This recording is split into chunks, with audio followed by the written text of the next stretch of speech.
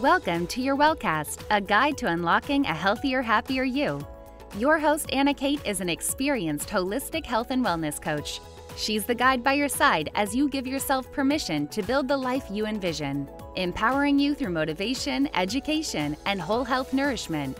If you're ready to indulge in your wellness journey, Anna's here to help. This is your Wellcast. Hello, everyone, and welcome back to your Wellcast. We are going to talk about a topic that most know to be innately true, but for some reason find it really hard to accept.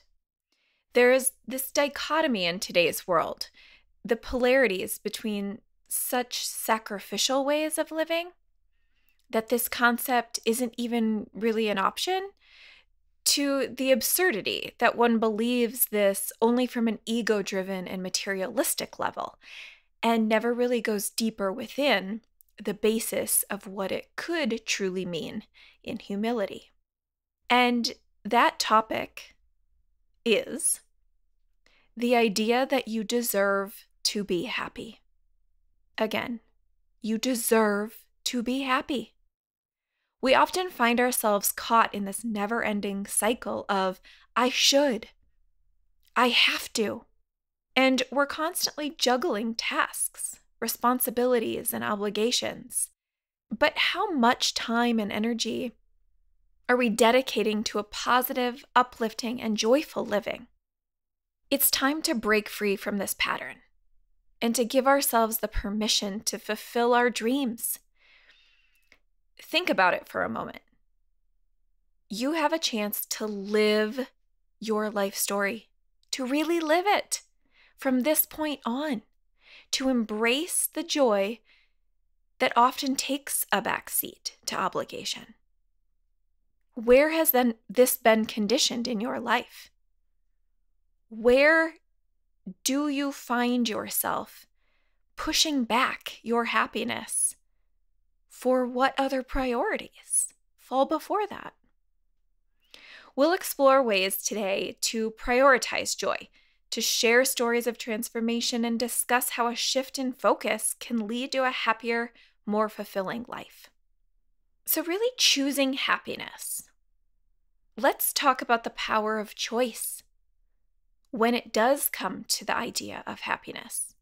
Happiness isn't something that just happens. It doesn't just happen to us by chance, it's a conscious decision. Over and over and over, we're making these decisions within our days that create weeks, with create, which create months and years, right?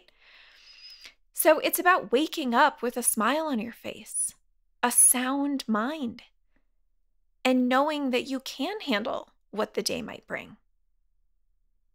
And thus going to bed with a sense of accomplishment, of joy, of really understanding what it was in your day that led to happiness, that led to frustration, that led to any celebration, or the idea that what could I have done better? Life will always throw us curveballs, and there will be moments of both happiness and sorrow. We can't really ever get away from that. I think sometimes we can, we think we can push it down, run away. But with more wisdom, you do understand that that isn't the reality. We all have that line of homeostasis, right? Like imagine that one straight line. That is your homeostasis point.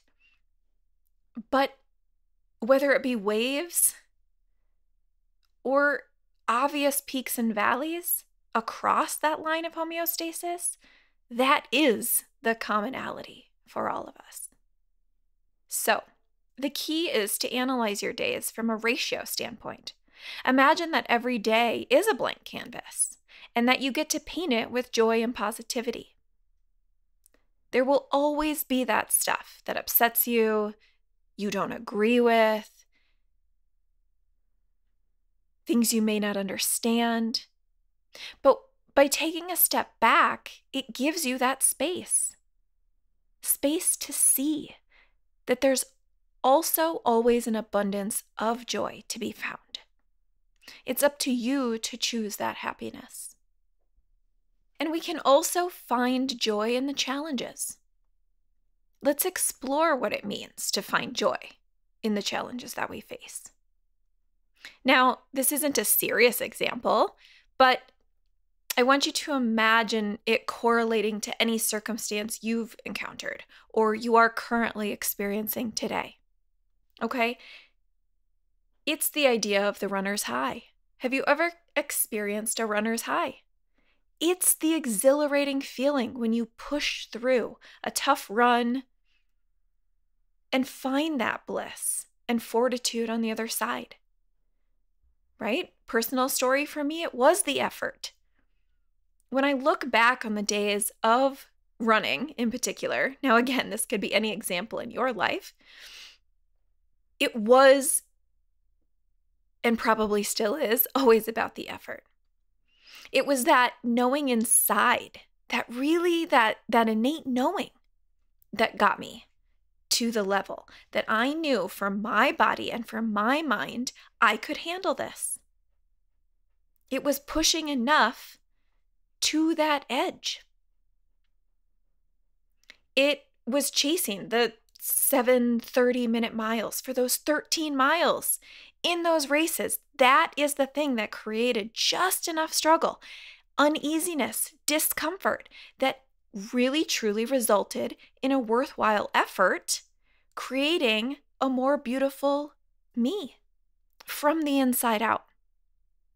And so, testing yourself most often leads to that celebration. You are and can do more than you know. Trust that about yourself. Life is full of challenges. And some of the most rewarding experiences come from overcoming them. We all have our equivalent to a runner's high, or a couple of them, right? Something that challenges us and brings us immense joy. So I encourage you, I encourage you today to reflect on what that is for you in your own life. Share your stories and experiences with others about this because it helps inspire another person to really find joy in the challenges. There's enough of the negativity, of the confusion around us. Let's try and bring about some compassion, some joy, and some help to others. And to me, this is the most important segment, in my opinion. It's all about giving yourself the permission, period, point blank. Give yourself the permission slip to do the things that light you up, that bring you peace. It is about asserting yourself in your own story and not always putting others first. When you do this, it's not selfish, it's truly caring for yourself. Of course, it is the unspoken rule that it doesn't mean abuse the scenarios or only put yourself first from an egotistical perspective, but it does mean that you are actually deserving of some time in which you place your energy where you most need it, where you most want it, and all of that is simply in order for you to flourish. You deserve to be a central character in your own story. And by asserting yourself and pursuing your own happiness, you actually create a more efficient and harmonious world. It's like everyone finding their own unique lane and letting the universe and the universe's design to really play out when you stop people pleasing and begin to prioritize your own well being, it actually allows everyone else to do what they're supposed to do best. And thus, the ripple effect, we all work better together. Allow for the natural design to play out. Stop overstepping. Stop the people pleasing. Stop trying to fix things for other people all the time when we stay in our own lane from a place of service, from a place of gratitude, and from a place of harmony, we all will begin to dance better together. I have a little activity for you. I heard this from Liz Tran. She is an author and a coach that I uh, deeply resonate with. So I want you to go ahead and set a timer for three minutes, okay? And simply write out on a piece of paper every activity that brings you joy, big or small. Work, play, home life, any tiny thing you enjoy doing regularly. And the list will be different for everyone. Write it all out in those three minutes, everything that comes to mind. Then go to your calendar and implement. Where in your week can you fit in these specific activities? Is it within your morning routine? On a break from work? Remember to take breaks at work. Before the workday is done, what are a couple things that you could put into your calendar that take two seconds texting a best friend you haven't talked to for a while. After dinner, go for a walk around the block. Listen to a favorite song, right? The tiniest of tiny actions that bring you joy are the things that will build consistently over time. And then that creates the decisions and the overall happiness that we talked about at the beginning the baby steps transcend into larger decisions that actually start to transform your life. When you're choosing happiness, you become more vibrant and strong in your day to day. Make the space for what it is that puts a smile on your face. Please do this. I'm sending you the energy of positivity to do this exercise with abundance in mind. Again, make space for what it is that puts a smile on your face.